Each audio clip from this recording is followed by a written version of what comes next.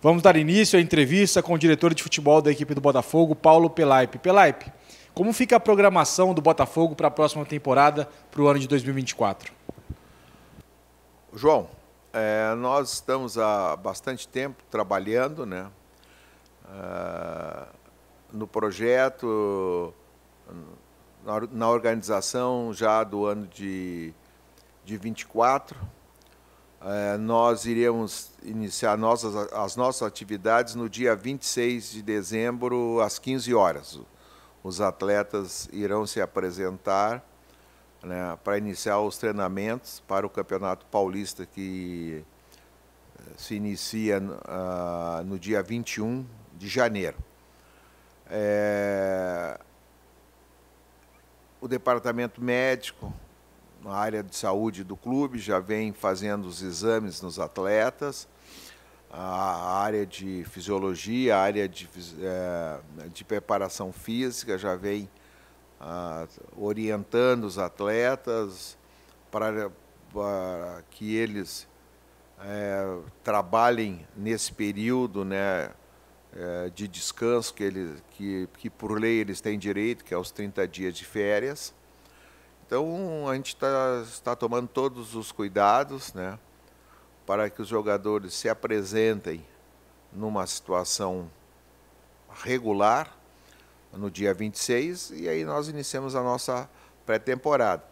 É, fomos pegos de surpresa, é, tivemos realmente, foi, foi uma surpresa muito grande a saída do Marcelo Chamusca, porque nós como ele mesmo falou em várias entrevistas, nós vimos conversando, uh, trocando ideias, uh, vendo atletas, né? já temos, temos um, contato com alguns jogadores, temos pré-contrato já formalizado, entendeu?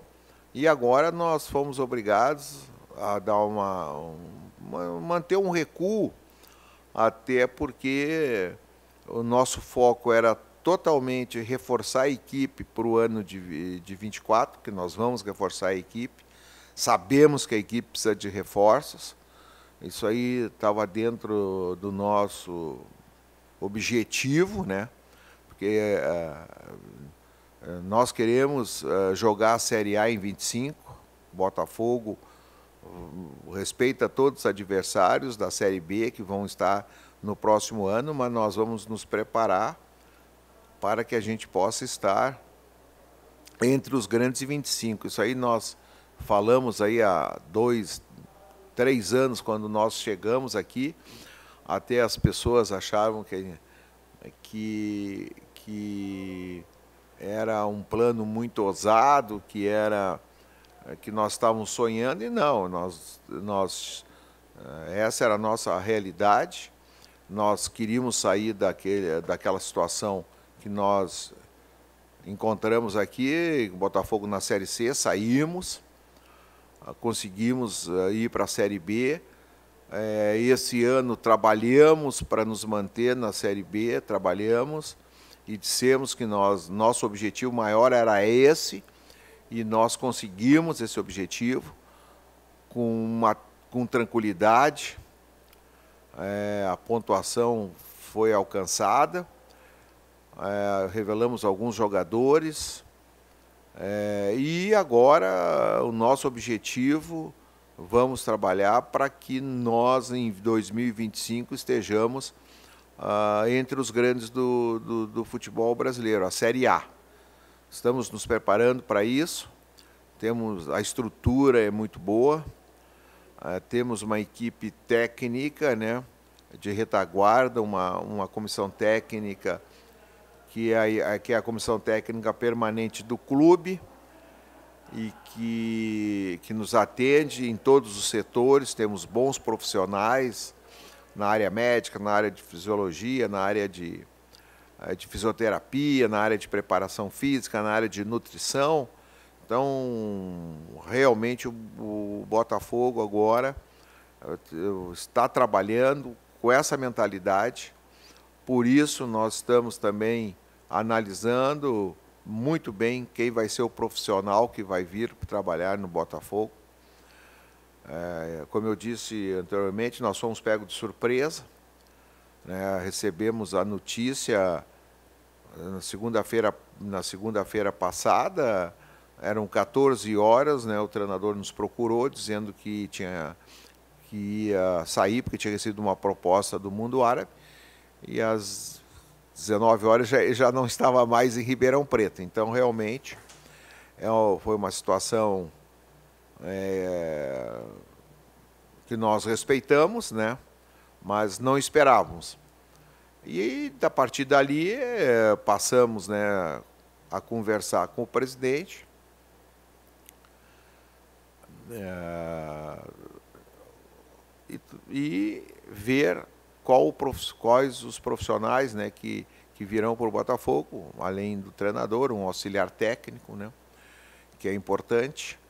E com, com nós temos pressa em, em fazer a contratação mas até a gente tem a cautela necessária, a calma necessária, e, e estamos avaliando e pensando bem no próximo, no próximo nome que virá para comandar o futebol do Botafogo, é, porque realmente é, o objetivo está traçado. O objetivo é o acesso à Série A. Esse é o, a permanência no, no, no, uh, no, no Campeonato Paulista. Isso aí é obrigação é, nossa de é, fazermos um, um bom Campeonato Paulista.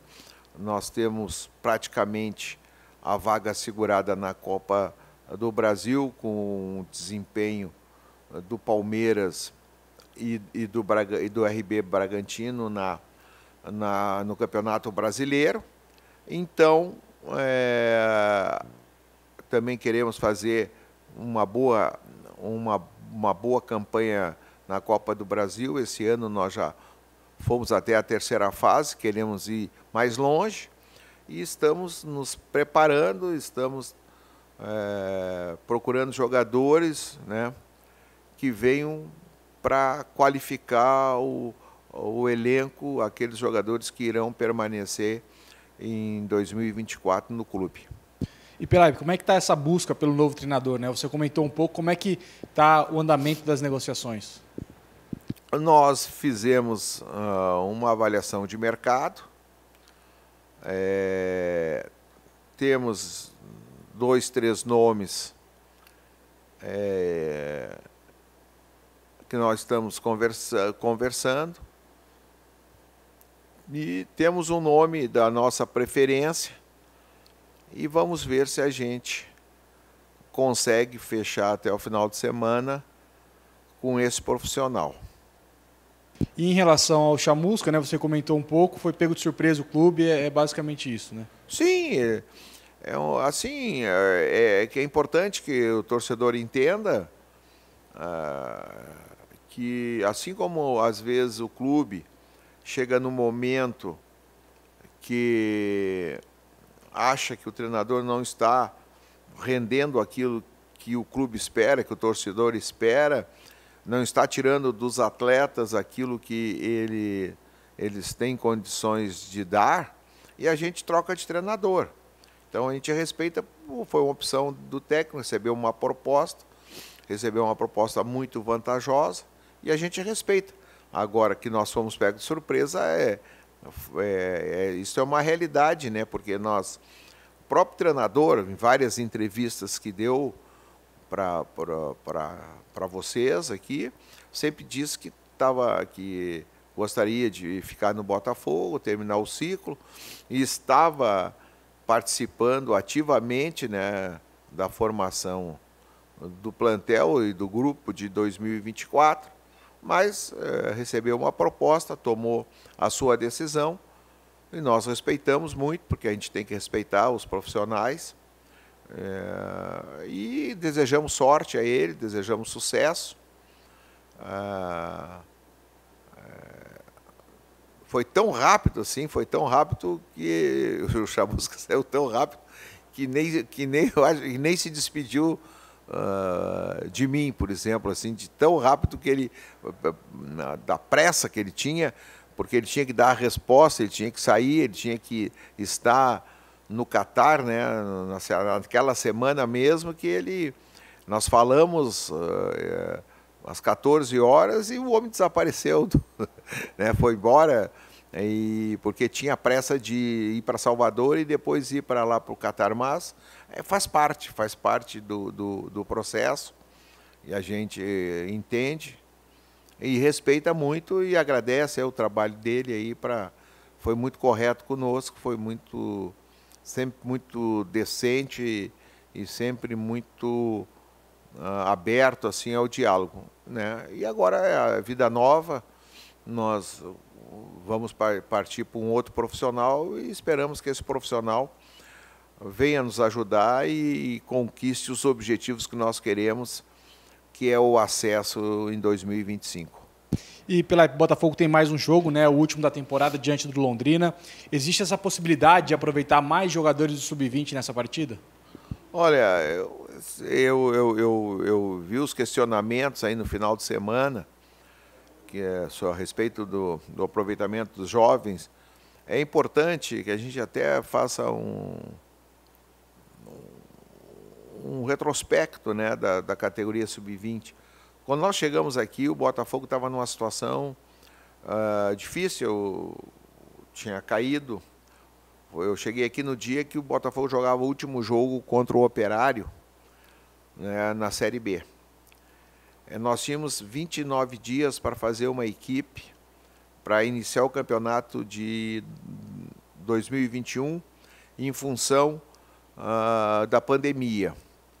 É, o campeonato de 20 acabou, o campeonato da Série B acabou no final do mês de janeiro de 21 e o campeonato não houve nem férias para os atletas, já iniciou no dia 27 de fevereiro de, de de, 20, de 21. E, e, os, e a categoria de base, em função da pandemia, estava parada. Não, não, tinha, não tinha competições. E aí a gente iniciou um processo é, de recuperação da base. Né? O profissional que estava aqui saiu, é, nós contratamos um profissional que nos ajudou bastante, foi o, o Najib, depois o Najib saiu, porque voltou para sua cidade, recebeu uma proposta de emprego financeira para ele, mas nós agradecemos muito o trabalho que, que o Najib fez, que foi um trabalho muito difícil, muito duro, é, que é o trabalho da reconstrução, do início de, de, de todo o trabalho.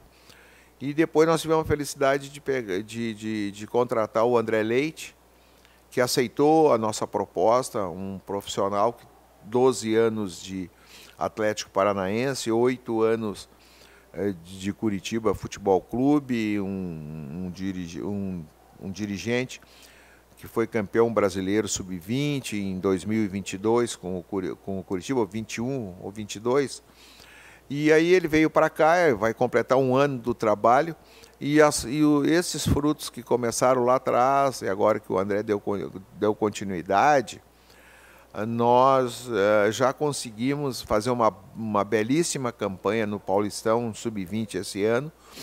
O Botafogo, o Botafogo ficou entre os, os oito colocados.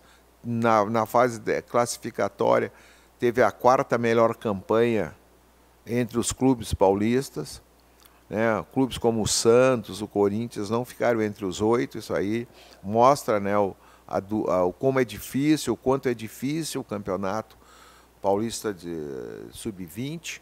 O Botafogo terminou com a quinta melhor campanha, na quinta colocação né, de, de, de, de, toda a sub-20. Isso é, eu quero, isso é um, é, eu quero agradecer ao, e elogiar o trabalho do André Leite, do, do treinador, do professor Ricardo. E esses meninos estão sendo olhados com todo carinho. Tem, tem alguns jogadores para 2024. Nós pensamos de cinco a seis jogadores fazerem parte do grupo principal do Botafogo depois de encerrada a, a Copa São Paulo de Futebol Júnior. Né? São jogadores que vão ser inscritos na, na lista B do Campeonato Paulista. Né? Para esse jogo de eh, Criciúma, a gente teve o cuidado, porque nós temos que ter o cuidado, nós temos que ter a responsabilidade de lançar no lançamento desses jovens. Nós não podemos pegar um jovem e lançar é, e, e, interromper uma, a carreira, né, é, em função. Então nós sabíamos que ia ser um jogo difícil, ia ser um, uma guerra dentro do campo, como foi, mas com lisura, com a vitória do, do, do Criciúma foi justa, foi merecida pelo esforço lá e pelo que produziu durante os 90 minutos. Mas a gente sabia uh, do tamanho desse jogo e era muito temerário lançar os meninos e colocar uma responsabilidade neles maior do que o necessário. Mas, uh, para esse final de semana, que nós vamos ter um jogo mais tranquilo, um jogo dentro de casa, né? É, nós vamos, vai, vamos aproveitar aí alguns aí que, que, que vão ser relacionados. Nós vamos ter uns cinco, seis meninos relacionados que vão concentrar e alguns vão fazer parte do jogo dependendo daquilo que o José Leão, que é o, que é o auxiliar técnico da casa, que vai ser o responsável por esse último jogo contra o Londrina, eh, dentro daquilo que ele achar necessário, eh, os jogadores do, do sub-20 vão ser aproveitados, mas nós temos aí bons meninos que nós acreditamos muito, é, o lateral direito, o Tortello, o William, o Cadu, são jogadores, o, o Hanna, são jogadores que vêm sendo olhados com carinho, vêm sendo olhados e vêm sendo também, além de ser olhados, vêm sendo trabalhados, né, para ganhar o espaço que é importante, assim como o Caetano ganhou o espaço há dois anos atrás e foi vendido para o, o, o o RB Bagantino está lá, o Botafogo, o Botafogo ficou com um percentual hoje de 20% numa futura venda, né?